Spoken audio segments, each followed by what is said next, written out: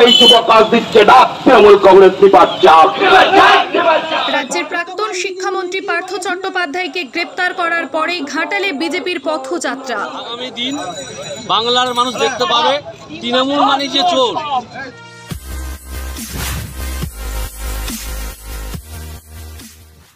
নমস্কার দেখছেন ঘাটাল নিউজ সাথে রয়েছি আমি সুমনা। শাসক দল তৃণমূল কংগ্রেসের মহাসচিব ও রাজ্যের শিল্পমন্ত্রী পার্থ চট্টোপাধ্যায়কে ইডি গ্রেপ্তার করার পর পথে নেমেছে বিজেপি। উল্লেখ্য, তিনি রাজ্যের প্রাক্তন শিক্ষামন্ত্রী। ঘাটাল শহরে বিজেপি তেইশে জুলাই শনিবার পথযাত্রা করে। বিজেপি নেতৃত্ব তৃণমূল কংগ্রেসকে চোর বলে আখ্যা দিয়ে ব্যাপক আক্রমণ করে। ঘাটাল বিধানসভার বিধায়ক শীতল কপাট বলেন দু হাজার বাইশ সালের একুশে জুলাই তৃণমূলের শেষ একুশে জুলাই। এরপরে আর তৃণমূল কংগ্রেস দলটাই থাকবে না। তিনি বলেন, বাংলা তো বটেই, গোটা বিশ্বের মানুষ জেনে গেছে, পশ্চিমবঙ্গের শাসক দল তৃণমূল কংগ্রেস চোরের দল।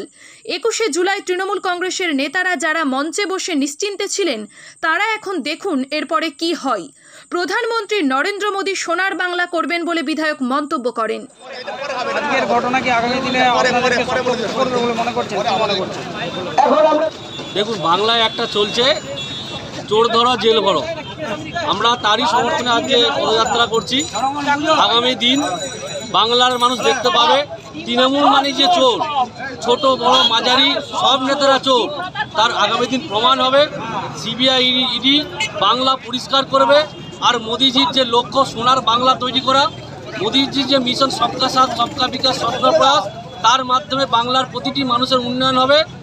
বাংলার শিক্ষিত যুব সমাজ, তাদের যে মেধাযুক্ত, শিক্ষিত সমাজ রয়েছে, তারা চাকরি পাবে, বাংলায় কর্মসংস্থান হবে, বাংলায় শিল্প হবে।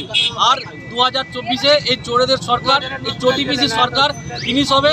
কয়লা চোর ভাইপো অবিলম্বে সিবিআই এর মাধ্যমে জেলে যাবে।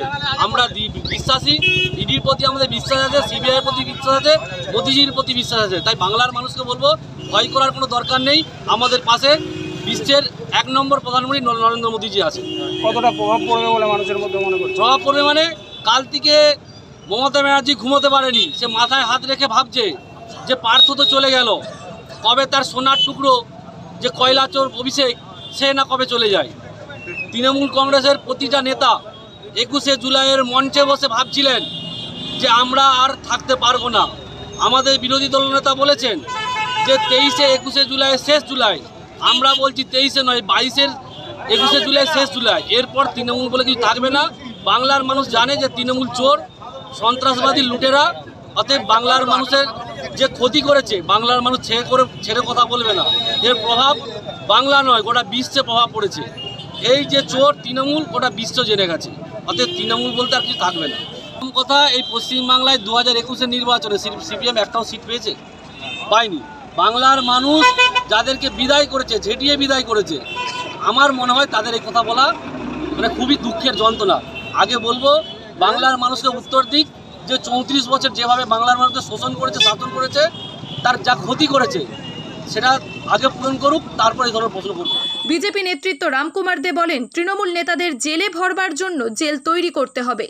ঘাটাল, মেদিনীপুর, কলকাতা সর্বত্র তৃণমূলের নেতারা চোর, ওদের একটাই ঠিকানা জেল।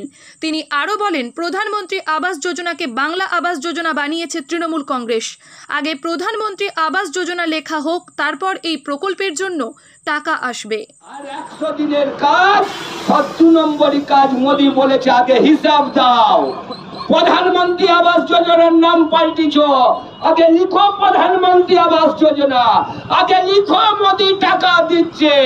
আগে হিসাব দাও। তবে এই টাকা আসবে, বন্ধু। আপনাদের চুরি ধরা পড়ে গেছে, বন্ধু। কেবলমাত্র পার্থ চার্জি একটা চোর নয়। পশ্চিমবঙ্গের তৃণমূলের কলকাতার সমস্ত নেতারা চোর। ঘাটালের সমস্ত নেতারা চোর। মেদিনীপুরের সমস্ত নেতারা চোর। সরকার বদলালে কেউ বাড়িতে থাকবেন না, তাদের ঠিকানা হবে জেলখানা বন্ধু। জেলখানা। আরও বড় জন্য তৃণমূলের সেন্ট্রাল জেল কলকাতা। আর যদি আরও বড় প্রভাবশালী হন পশ্চিমবঙ্গে তার যদি আবার ভাই ভাই করে লাঠি ছটা নিয়ে বেরোয়, তাহলে একবারে উড়োজাহাজে করে আমরা ভুবনেশ্বর নিয়ে চলে যাব পশ্চিমবঙ্গে রাখব না যে যেমন চুরি করবে, চোরের ঠিকানা জেলখানা বন্ধু। ভাবছেন আমফান ঝড় হলো নি আবার? বছরের পর বছর আমফান ঝড় হোক কেন্দ্র টাকা দিবে মোদি টাকা দিবে মোদি আসবে আর আমরা বেশ লুটে ফুটে খাব। চোর মদন চোর তৃণমূলের সবাই চোর সেই যুবকাল দিচ্ছে ডাক তৃণমূল কংগ্রেস বিপাক চাপ। পরের চোর পার্থ চোর তৃণমূলের সবাই চোর